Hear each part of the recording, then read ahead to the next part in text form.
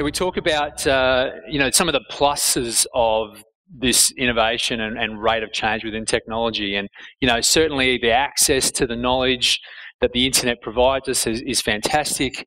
Uh, these devices allows us to uh, they're very adaptable to our modern life. So if I'm uh, if I'm on the go, if I'm at home, if I'm just needing to do something quite quickly, if it's on a smaller device, right through to, to other devices, they're very adaptable. Uh, and they allow me to do things pretty much wherever I want them to do. That's the whole sort of, um, you know, the dream of, of a wireless world.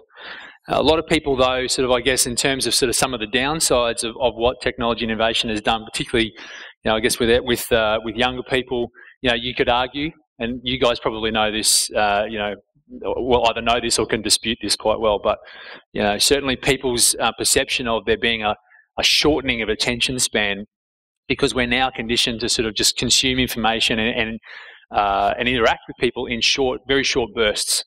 And you look at the sort of the, the time of engagement on mobile uh, apps and websites. You know, you, it's it's a lot lot shorter than uh, if you're sitting down at a at a desktop or at a laptop. So people are performing tasks, communicating with each other, being engaged with whatever that might be in blocks of kind of 10 to 30 seconds and then putting the device away and going and doing something else. Or, as my daughters quite often demonstrate, they multitask. and they, are doing their homework and they're Snapchatting with their friends and eating their dinner or whatever that might be.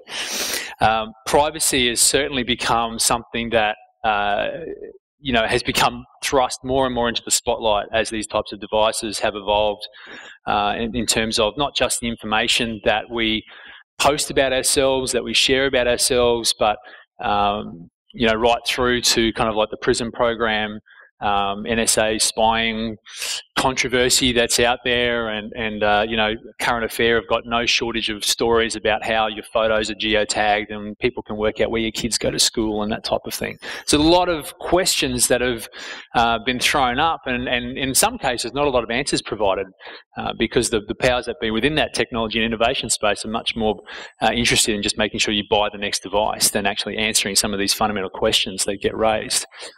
Uh, does anyone know what FOMO is? Tim. The fear of missing out. It's kind of like in that, you know, YOLO, you know, you only live once. They call them FOMOs, the fear of missing out. It's why you check your phone every 15 seconds. Has someone emailed me yet? Has someone responded to my, my post yet? How many likes have I got on that photo? You know, you're pulling it out. You don't even wait for it to beep anymore. You don't even wait for the for the alert to go off. You just pull it out, checking it. Um, it's actually a you know it's a that's a social change that that has come about that didn't uh, well certainly wasn't as prominent uh, in years gone by, but now even away from devices, the behaviour of wanting to stay in touch with everything that's going on and wanting to know it's actually being driven by some of this technology.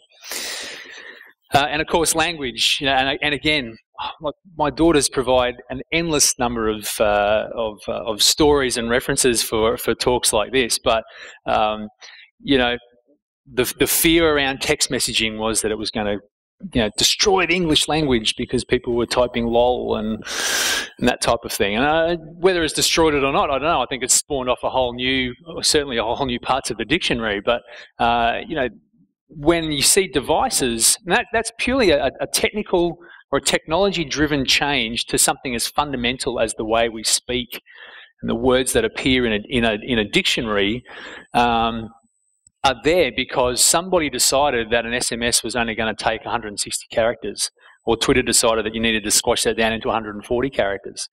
So some fundamental social changes coming out of uh, out of this technology. Right. So my last lesson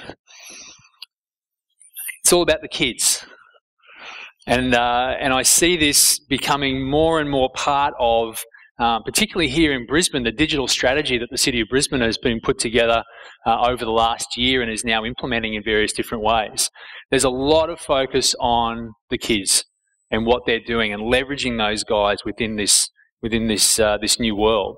So who's actually driving this bus, this technology and innovation bus? Is it these guys?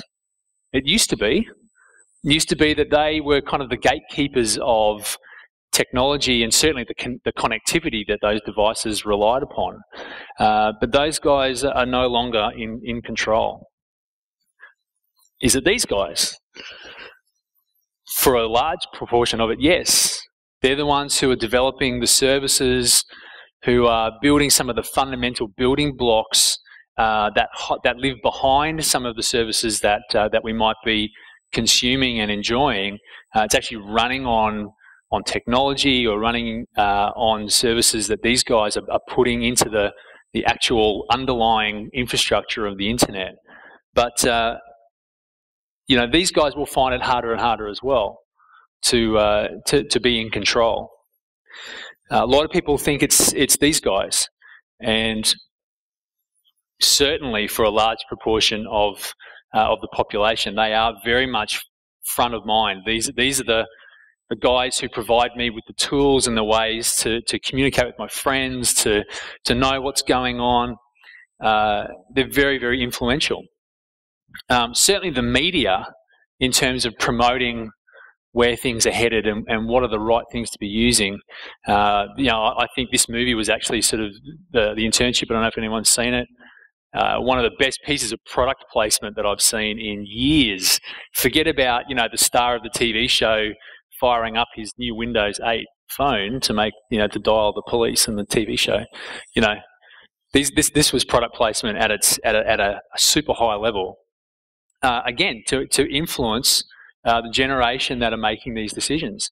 So, yeah, I do think a lot of it is about the kids, and we, and this term techpreneur, so an entrepreneur within the technical world. Um, you look at the the age of these guys that are coming down. Now, I was talking with um, a couple of my mates before over lunch, talking about uh, well, you know, Bill Gates and Steve Jobs. You know, they're my age, not my age one of the guys I was speaking to. Yeah, they're my age, and look what they did because they were in the right place at the right time. Um, guys who are my age just exited or just just IPO'd Twitter and made themselves three billion dollars overnight, and they're my age. Look what they've done. This guy sold his company to Yahoo for 60 million or something like that. He's only 18. So the so where the innovation and where the, the thought leadership is coming from in terms of in terms of innovation and technology is coming from a group of people where the the age the average age is starting to certainly starting to shrink. So it's really these guys that we're that we're looking at now in terms of understanding well this idea of the, well this this idea economy. Who are the people who are coming up with that next idea? Who are the people who are deciding look, it's great that you give that I can do that particular task in that way, but I really want to do it this way. So how do I do that? Because if I can work out how to do that, then it's going to make my life better. And for a lot of these guys, they say, well, then it's also going to make a lot of other people's lives better, and I can make some money out of that. I don't think it's quite these guys just yet, but it's not going to be too. Uh, they're, they're, certainly starting early. One of the um, one of the great initiatives in Brisbane uh, that I've been fortunate to be a part of uh, has been a thing called Coder Dojo. Has anybody heard of Coder Dojo? Yeah, so it's um, it's kind of like uh, Codecademy that was mentioned before, but kind of face to face. So, uh, as part of uh, Brisbane City Council or uh, Brisbane Marketing's uh, digital strategy for the city of Brisbane, part of it was to run free clinics and workshops in various council libraries.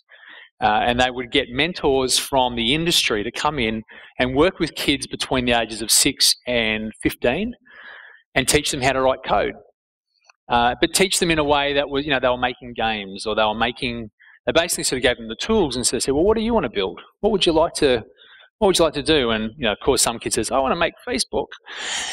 But they want to, you know, they start off with a maze game. You know, and, they, and there's some tools that, that, uh, that they were able to sort of put in front of them, things like Scratch uh, from MIT, that allow them to sort of start to explore the idea of I've got something in my brain, how do I get it out onto the onto the screen or onto you know onto the phone?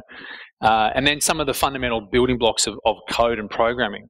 And so one of the great things was, you know, within the within the crowd, you've got these guys from industry. Uh, in this in this particular photo, you've got um, entrepreneurs, you've got game developers, programmers, uh, IT managers, all giving up some time on a Saturday to have these kids come in. But the really cool part about Coder Dojo was that the next crop of kids that showed some real kind of talent and some real interest, they became the mentors as well. They got a they got a Coder Dojo polo shirt, and the next week they came along. It was about kids teaching kids.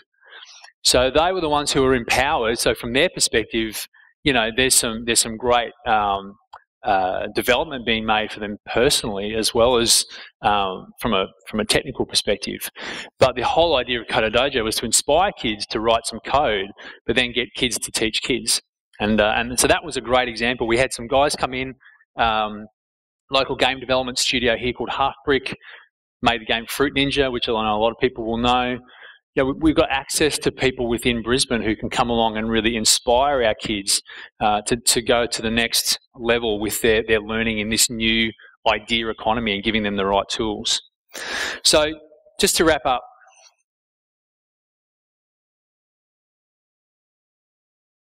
future of technology is moving very, very quickly to the extent where originally I was going to talk to you about mobile, but then I realized, you know what? Mobile's kind of done. We're past that. It's here. It's it's it's very much here. Uh, but that rate of change is is happening uh, very quickly.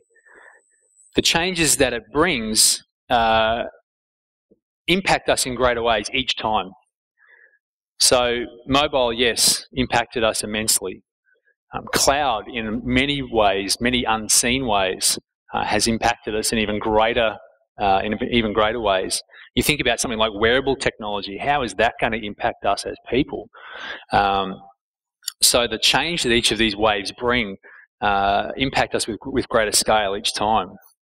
I think it's really important that we watch and learn from the natives who are part of this this idea economy, this, these change natives who are growing up extremely used to to change.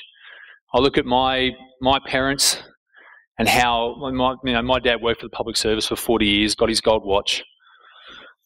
You know, I'm the next kind of one along the line. At least I went and studied and got a degree in something.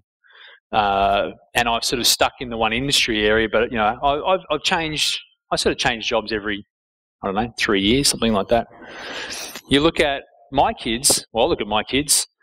And 80% of the roles that they're going to be applying for or that are going to be available to them don't even exist yet in terms of a, you know, she's in high school. When By the time she finishes uh, university, 80% of the jobs that'll be that, that she'll be, that are in that, um, in her sort of sphere of interest, they, they don't even exist yet. So those change natives are really important for us to, I guess, hook into in terms of how they're learning, what they need to learn, what they would like to see, and how they can utilize their own ideas from their experiences with technology to, to bolster that. Um, so I think listening to their ideas uh, is, is critical. Watch and learn. Thank you very much.